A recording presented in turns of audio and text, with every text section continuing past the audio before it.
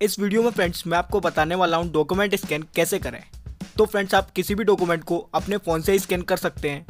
चाहे वह आपकी मार्कशीट हो, आपकी पासपोर्ट साइज़ फ़ोटो हो, सिग्नेचर हो, कुछ भी हो। आप सभी डॉक्यूमेंट को अपने फ़ोन से स्कैन कर एक पीडीएफ फ़ाइल बनाकर अपने फ़ोन में रख सकते हैं। और ज़रूरत पड़ने पर आप उन डॉक्यूमेंट्स का यूज़ भी कर सकते हैं।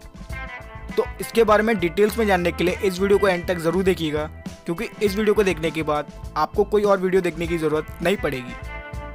तो चलिए वीडियो को शुरू करते हैं। वीडियो में आगे बढ़ने से पहले चैनल को सब्सक्राइब कर लें, सब्सक्रिप्शन बटन के बगल में एक बेल आइकन होगा, उसे भी प्रेस करके ऑल पर सेलेक्ट कर लें, जिससे हमारी वीडियो की नोटिफिकेशन आपको टाइम पर मिलती रहेगी। तो फ्रेंड्स, सबसे पहले आप प्ले स्टोर ओपन करें और इधर टाइप करें डॉक्यूमेंट स्कैनर उसके बाद थोड़ा नीचे आइए। और यह वाली application Microsoft Office Lens PDF scanner इसे आप इंस्टॉल कर लें। इंस्टॉल होने के बाद इसे ओपन करें। इधर परमिशंस को अलाउ कर दें।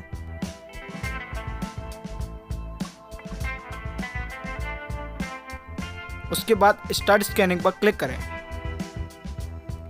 इधर आप नेक्स्ट कर दें। इधर फ़िलहाल के लिए आप डोंट सेंड ऑप्शनल डेटा पर क्लिक कर लें।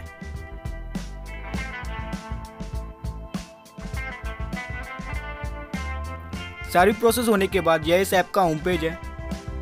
इधर आप डॉक्यूमेंट को कुछ इस तरह सामने रखेंगे और इस ऑरेंज रेक्टेंगल और पेपर को एडजस्ट करेंगे। प्रॉपर वे में होने के बाद इसकी एक फ़ोटो क्लिक कर लें। टैप करते ही आपके डॉक्यूमेंट की एक फ़ोटो क्लिक हो जाएगी। इधर आप इसे मैन्युअली भी एडजस्ट कर सकते हैं, वरना यह एप्लीकेशन प्रॉपर वे में एडजस्ट कर देगी।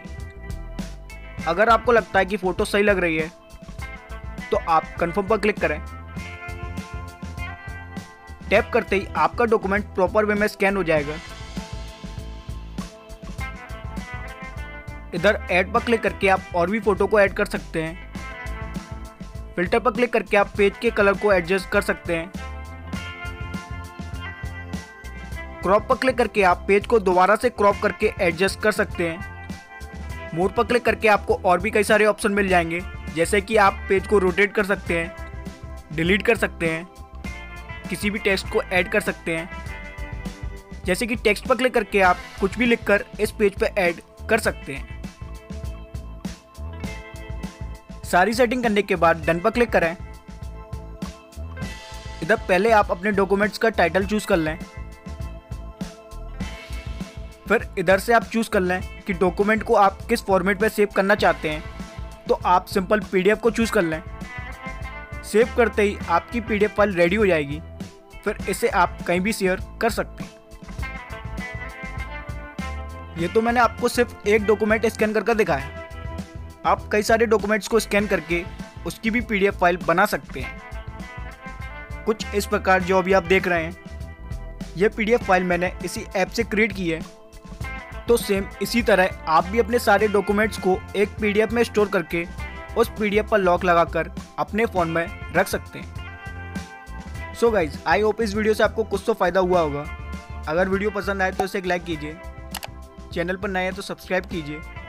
और अगर आपको कुछ डाउट हो तो वह आप कमेंट कर कर पूछ सकते हैं।